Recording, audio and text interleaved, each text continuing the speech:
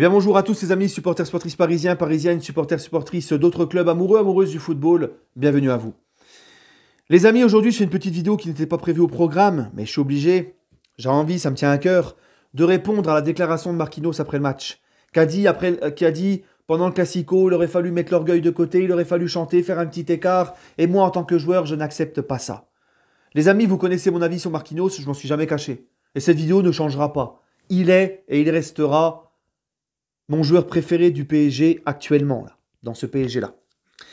Mais j'ai quand même envie de lui répondre, parce que je ne suis pas une groupie de joueurs. Quand un joueur fait ou dit n'importe quoi, peu importe si je le kiffe ou pas, je le remets, en place.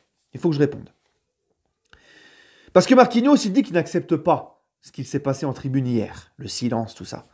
Eh ben nous aussi, Marquinhos, nous n'acceptons pas et nous n'acceptons plus certaines choses.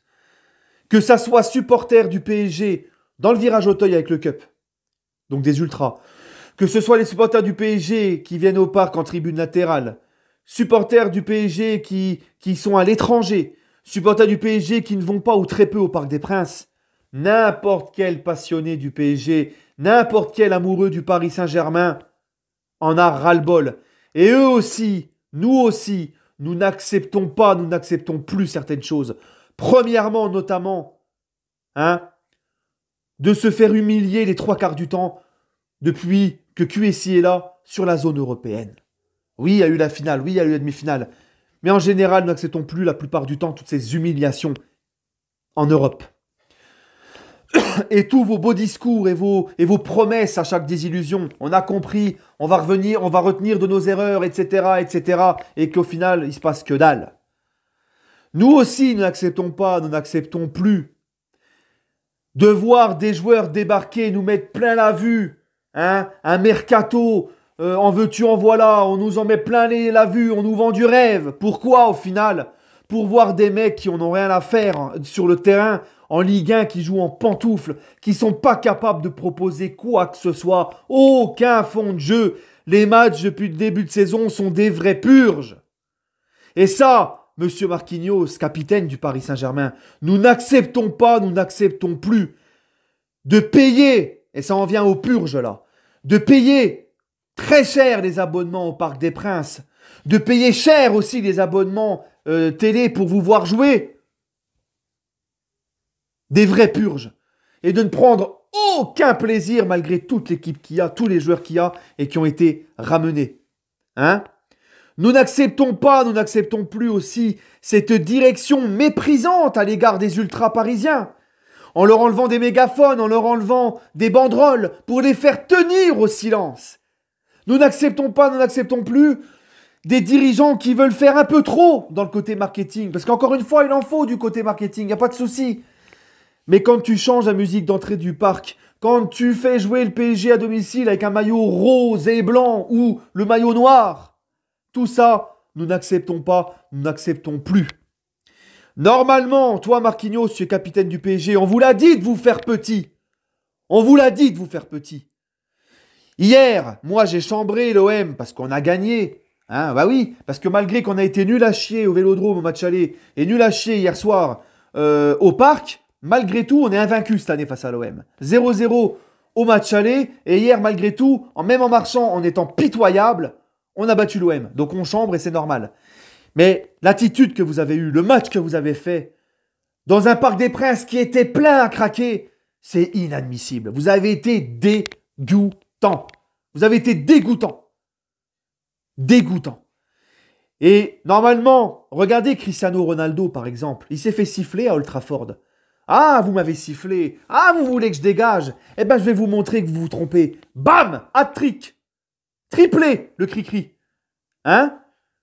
Vous, les joueurs, dirigeants, au lieu de vous faire petit, au lieu d'essayer de faire les choses bien, les dirigeants continuent à mépriser les ultras et veulent les tenir en silence. Et les joueurs ne font rien sur le terrain. Continuent à ne rien faire. D'accord? Dix jours après l'élimination en Ligue des Champions. Encore une fois, il n'y a pas de honte à sortir de la Ligue des Champions. Parce qu'il y a des grosses équipes en Ligue des Champions. Il n'y a pas que le Paris Saint-Germain et au final, un vainqueur, il n'y en a qu'un à la fin. Mais nous n'acceptons pas, nous n'acceptons plus de la manière dont on sort. D'accord? Hein? Les mecs ont perdu leurs moyens, quand le Real a égalisé, ils ont été pleurer, se plaindre, se cacher derrière l'arbitrage, comme les Marseillais hier soir, tiens. Voilà. Hein? Euh, nous n'acceptons pas, n'acceptons plus tout ça.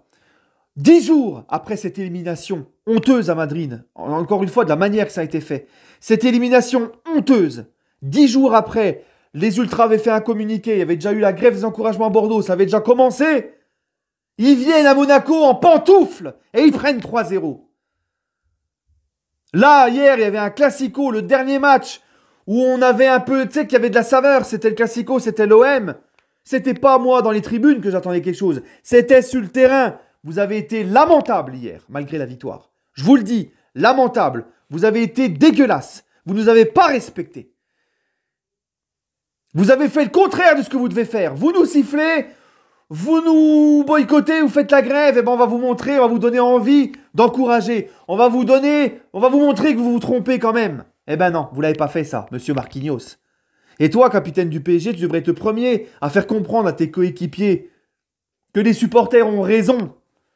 Parce que lâcher l'affaire pour le Classico, moi j'ai été le premier à dire les joueurs les supporters les ultras du PSG, le message que vous envoyez, je vous soutiens, vous avez raison, il y a beaucoup de choses qu'il faut que ça change.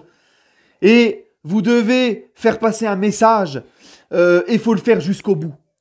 C'est pas je le fais pendant deux matchs, après j'arrête. Si on aurait, si les ultras auraient rechanté hier, tu perds toute ta crédibilité. Tout le message que tu essayes de faire passer, il tombe à l'eau. Et tu peux pas reprendre la grève derrière, c'est impossible.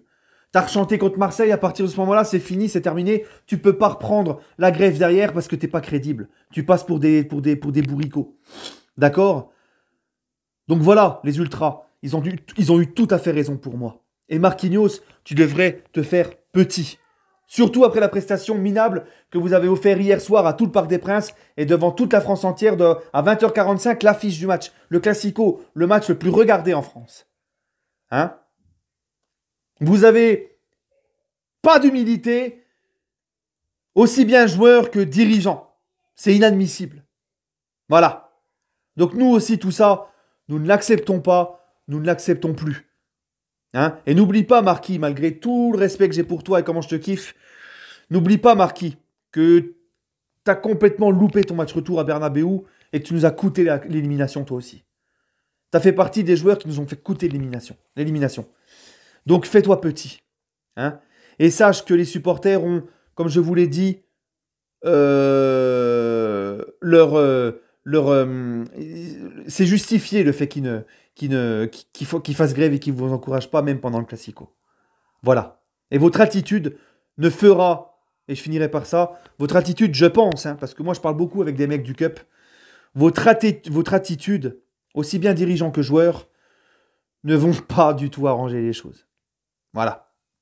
Bref, prenez soin de vous et allez Paris.